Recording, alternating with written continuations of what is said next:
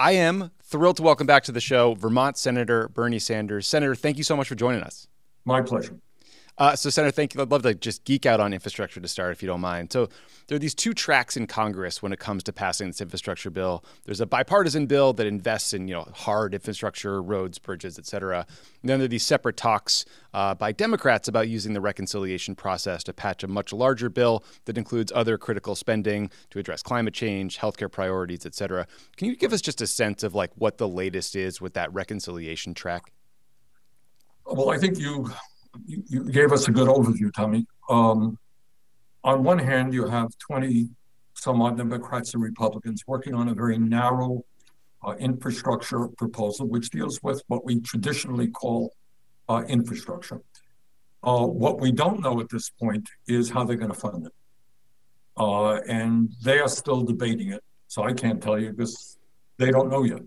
Right. Uh, but it sounds to me uh, what we are hearing is might be an increase in the gas tax, might be a fee on electric vehicles. It might be, they give it a, a fancy term, but I think it sounds to me like uh, infrastructure privatization. Not a new idea, but a very bad idea. Mm-hmm. Uh, so the problem I have with what they're doing is A, it is too small even to deal with roads and bridges. It's about one quarter of what Biden wanted. Number two, uh, their funding appears to be at this point very regressive and anti-working class. Uh, as I think most of your viewers know, study after study has shown that you got billionaires out there. Some of the wealthiest people in this country in a given year pay zero in federal income tax. You got large multinational corporations making huge profits, pay zero in federal income tax. They, for their own political reasons or whatever, choose not to deal with that. They rather have user fees coming down heavy on working people obviously not something I am sympathetic to. We, on the other hand, are kind of taking a different look at what we mean infrastructure. Infrastructure is not just roads and bridges. You know, I could say to you, what's the infrastructure of your program? You know, what's your staffing line? Where's the money mm-hmm. coming from? That's infrastructure. And when I look at infrastructure, it is what are the foundations that a modern society needs to run and run well. And when you look at the world that way, obviously you got to deal with climate. I mean, how irresponsible, how insane it would be if we didn't deal with climate uh, when the future of the planet is at stake. Uh, if you're talking about a modern society, how do you not deal with childcare and education and higher education, making sure that we have the best educated workforce uh, in the world? How do you not deal with housing when you got close to 600,000 people homeless 18 million households spending 50% of their limited incomes uh, for housing, et cetera, et cetera. So, you know, healthcare, uh, you know, I think it's imperative that we expand Medicare to cover dental, eyeglasses, and, and hearing aids. Uh, we are the only major country on earth not to have paid family and medical leave. Is that acceptable? I think not. Yeah. So those are some of the issues that I believe have got to be included in a serious reconciliation bill. Yeah, look, I mean, everything you're saying makes total sense to me. I do think, just sort of process wise, there's some concern among progressives about whether some of the more moderate Democrats will actually support this follow on reconciliation bill. Because I remember well when Joe Manchin shot a bullet through a cap and trade bill, right? So it makes me wonder a bit about his willingness to aggressively Let me tackle. Yes, please. And you, you might want to, you know, get Senator Schumer on, but to the best of my knowledge, uh, leadership is very, very clear there ain't going to be a small bipartisan infrastructure bill that gets to the floor unless there is an ironclad agreement that there will be support in very specific ways for a larger reconciliation bill. Now, you might ask, why in God's name do you need two bills? And the answer is, I haven't a clue.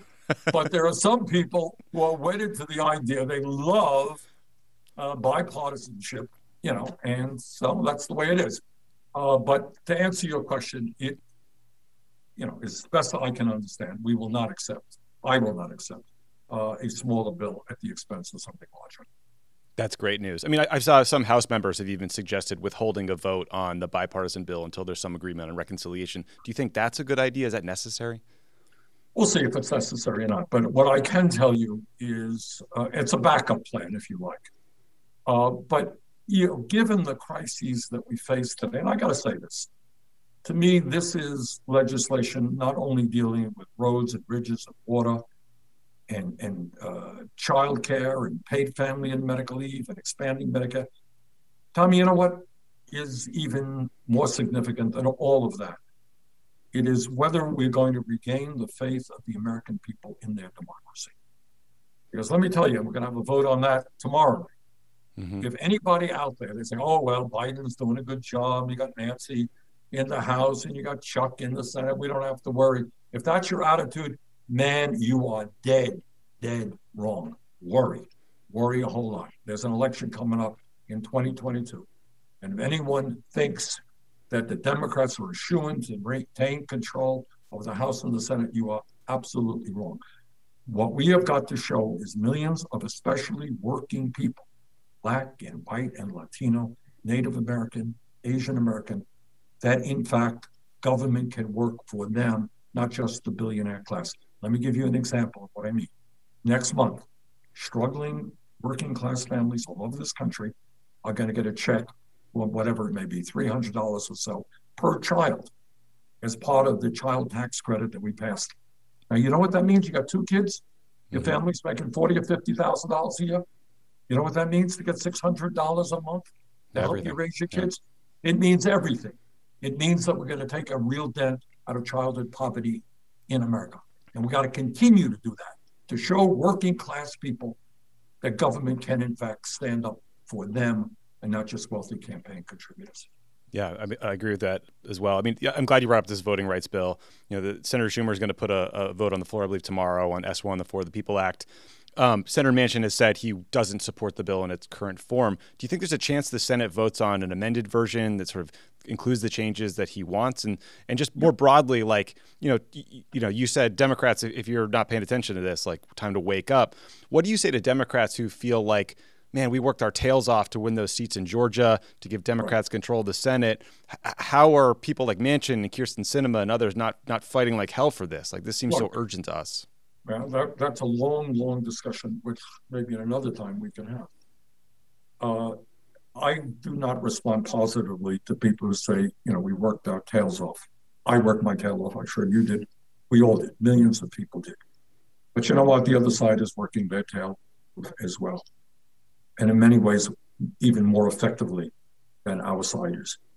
Uh, what we are taking on now is a Republican Party. And, and for older people, please note this is not the old Republican Party. It's not the Ronald Reagan Party. It's not the Bush Party.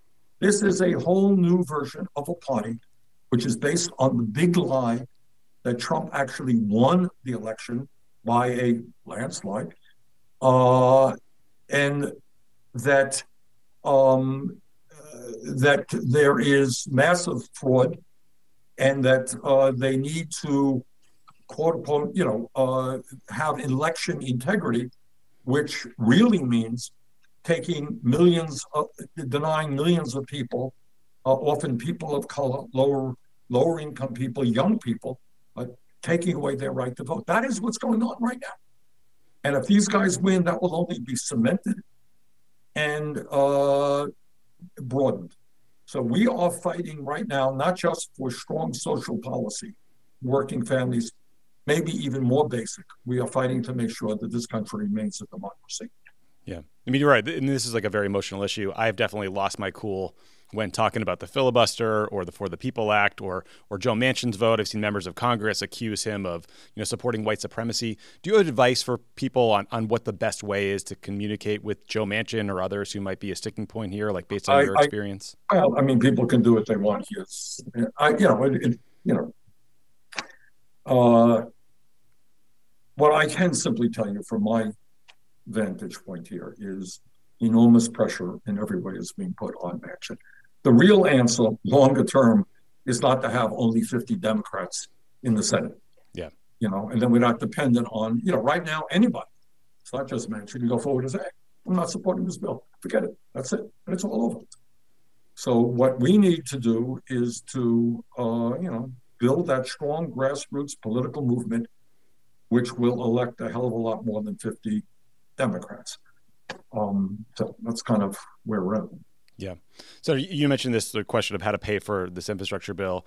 I mean, stepping back a bit, you know, there was this ProPublica story that you also mentioned about how the richest people in the country pay basically nothing in taxes, right? And they avoid these taxes legally. They just get all their compensation via stock, right?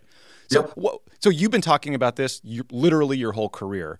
Do you have a proposal for how to amend the tax code to actually sure. get at this wealth and not just income?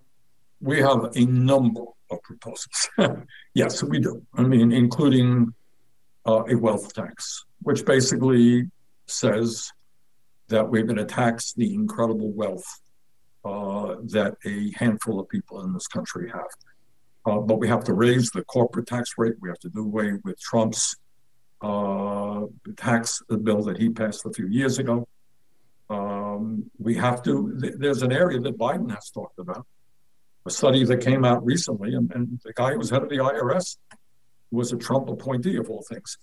Uh, this guy says right now that there is hundreds of billions of dollars uh, in lost tax revenue that wealthy people and large corporations are not paying. Because they have, in many cases, an army of accountants and lawyers uh, who can help them uh, prevent them from paying uh, their taxes, and they outgun the IRS. They outgun the IRS. So by investing in the IRS, getting more people who know what they're doing to take on these corporations, the estimate is I think for every dollar you invest, you gain seven dollars in lost revenue from the very wealthy, and that's wow. what we should be doing. Yeah. Uh, last question for you. I mean, I, I, imagine a lot of people are listening to this. They feel the urgency of, of all these big issues. What? How should we focus our attention? Like, what do you think people should be doing right now to help you pass the agenda you talked about in this interview?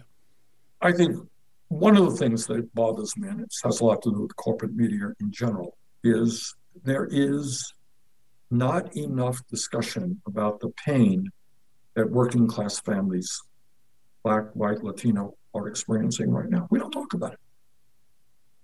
Half of our people in America are working paycheck to paycheck. How's that? That means at the end of a week of hard work, you have nothing in the bank. You're living paycheck to paycheck. A paycheck stops coming you're in serious trouble and, and your family may lose their housing. Uh, we got millions of people working for starvation wages. Uh, we got 90 million people who are uninsured or underinsured. We have kids, as you know, young people with outrageous levels of student debt. We have a child care system, which is beyond embarrassing. And we can create millions of jobs by addressing climate change and rebuilding our crumbling infrastructure. So I think the message has got to be that in this pivotal moment in American history, we've got to reaffirm people's belief that their government can work for them. And the way you do that is by delivering the goods, by delivering the goods, by people seeing with their own eyes that real change is taking place in their lives. I use the child tax credit is one of many examples. You raise the minimum wage, at least 15 bucks an hour, and make it easier for workers to join unions people see that as real change. Can you know what it means right now in my state, uh, which is probably about average? The uh, a family is spending fifteen thousand dollars a year for childcare. Fifteen thousand dollars a year. Wow. Maybe you make maybe you're a single mom making forty five thousand. One third of your income goes to childcare. Insane. Deal with that. Have people paying no more than seven percent of their income or less for childcare. All of those things is what we've got to focus on. So, to my mind, to answer your question, Tommy, and I think we got to talk about it more, is we need a government that works ordinary people and not just the very rich. And when you say that, that covers everything from childcare to expanding Medicare so elderly people kind of have dentures in their mouth when they chew their food. That's what it means, creating a government that works for all of us, not just the few. Well, thank you for that advice. Uh, thanks for fighting for this agenda, Senator Sanders, and for doing the show. Thank you very much.